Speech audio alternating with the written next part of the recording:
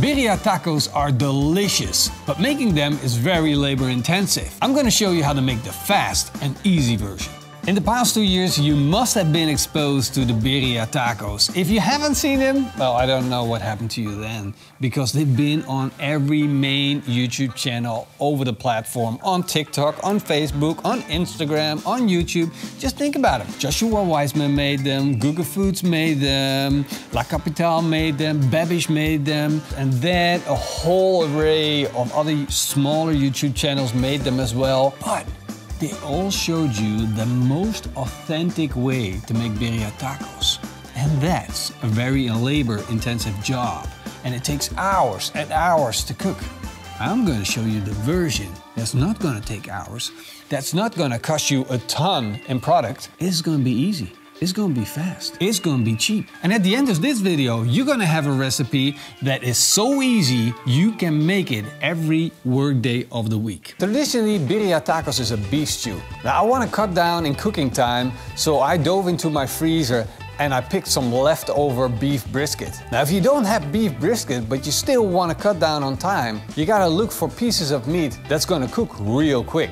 You could either use like a skirt steak or a flat iron and then just chop it into fine slices of beef. Or if you want to go cheaper, you could even switch to chicken. Just get yourself some chicken thighs, cut them down into tiny pieces.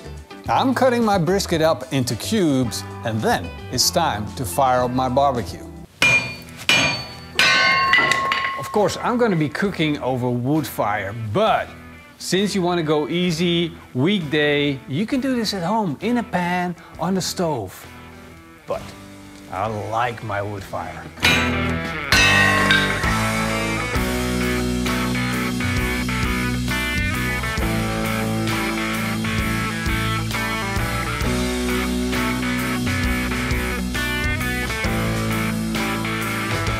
This is the Polar Grilli. It's a Finnish style grill and it's freaking awesome because in the middle you got this wood fire burning and I started it up with a little bit of birch. And birch shouldn't be confused with beech. Birch is a really light tree type. It's the same type that you use for matches. Now that's what I use to start the fire with and I don't even need a fire starter. And once it burns out, I put on a log of beech beech tree is magnificent because what it does, it burns down and then it turns into embers. Not to dust like oak, not to dust like birch, but in embers. Big chunks that glow like charcoal. And that's how I build up a big mass of energy at the bottom of this grill. I gotta keep my fire going, I gotta keep building on those embers. And then I can put my pan on and start cooking. So I'm gonna take my Dutch oven, hang it on the hook and set it over the fire. Then I'm gonna chop fine two white onions. With a little bit of olive oil, they're going into the Dutch oven. I'm also gonna add three sliced garlic cloves, two tablespoons of tomato puree, two kilograms of our leftover brisket, 500 milliliters of concentrated beef broth mixed with one and a half liters of water totals up to two liters of beef broth. And now we're gonna bring this to a boil. Now to get the authentic flavor of the birria tacos, we want some chilies. And this is where it gets a little bit tricky. Because if you want chilies, there are all kinds of chilies. And if you follow most of the recipes, they at least have three types of chilies in their recipe. And chilies, in Europe at least, they don't come cheap. One of these boxes gonna cost you around four euros each. Of course, probably in Mexico or in America, you can get these cheaper, but I want to make this an affordable recipe. So I'm gonna explain you what all of these chilies do. I have here dried chili caillo, or however you pronounce that. And this is a dried chili. I have here chili de árbol, which is also just a light dried chili. This is smoked and dried chipotle. And this chili has a dark fragrance. It almost smells like tobacco and it's it's really nice and it has a vanilla-like aroma. This is a chili that will not only add heat to your dish, but also a lot of flavor. And that's the flavor that the birria tacos are famous for. The same goes for the pasilla chili, and the chili ancho. I just, I just, I just rubbed this under my nose. That was a bad idea. Don't, don't, do, don't put this too close to your nose. My point is, you're only gonna need one of these chili types. So don't buy all of them for a weekday recipe. Of course, if you want to go authentic, just go crazy. But for now, just pick one. And I recommend getting the Chipotle dried and smoked. That's the one that's gonna add the most flavor.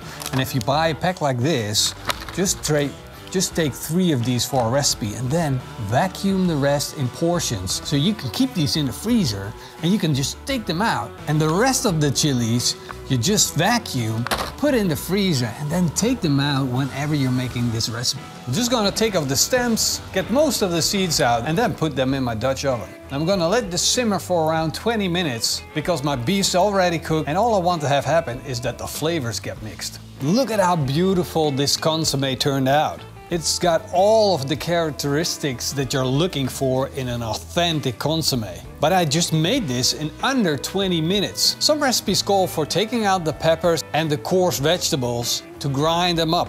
I'm saving yet another cooking step which is not influencing the way the birria taco tastes. Final step in the preparation is grinding up some cheese. Now if you live near Mexico, of course you're gonna choose a beautiful Mexican cheese.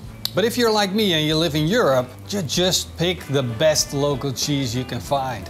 I'm using some young Gouda. It's relatively cheap and it tastes absolutely amazing. Now it's time to actually start cooking our tacos. And since we got the wood fire anyway, I'm gonna be cooking on a cast iron plate straight over the fire. I'm gonna let my cast iron grill grate come up to temperature and once it's nice and hot, I'm gonna put the tacos on. It all started with some leftover meat, and just with a few simple ingredients, we're all set up to make birria tacos. I got my fall apart tender meat, I got my cheese, and I got my consomme.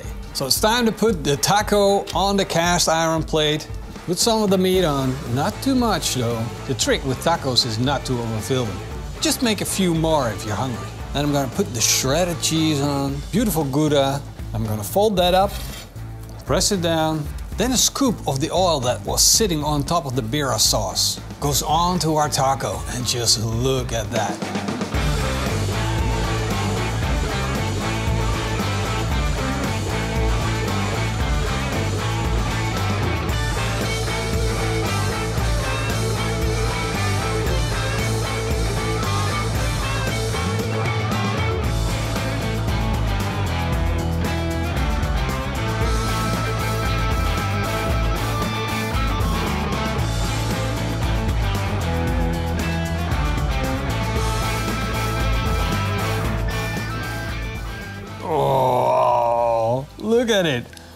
Perfect birria tacos.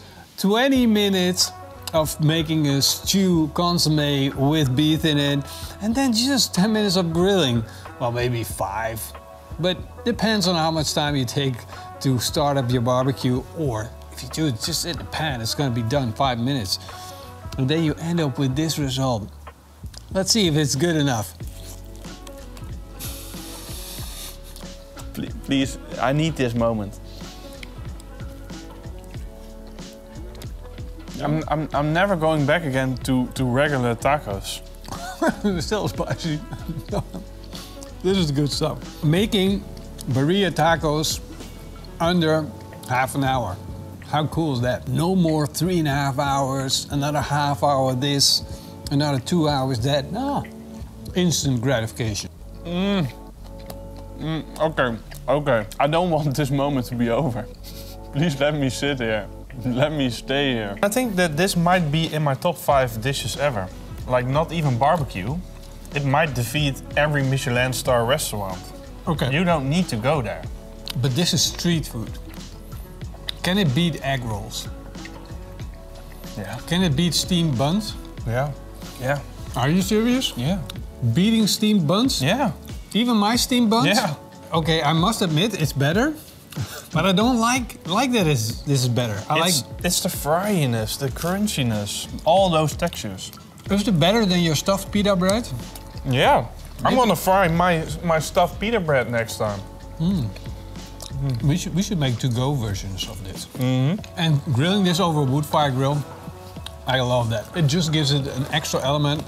The dog's going insane at the moment because she knows what's going on. It's beef and cheese. Call the Dutch guys. They're coming in, they eat it all. Hope you guys enjoyed this video. Watch Morrison eat the rest of the taco. And in the meantime, don't forget to click on the next video. You might even see all the recipes we just mentioned. Thank you for watching. Hope to see you guys next time. Big thanks to the patrons and the YouTube members. Until then, Eet smakelijk. and keep on grilling.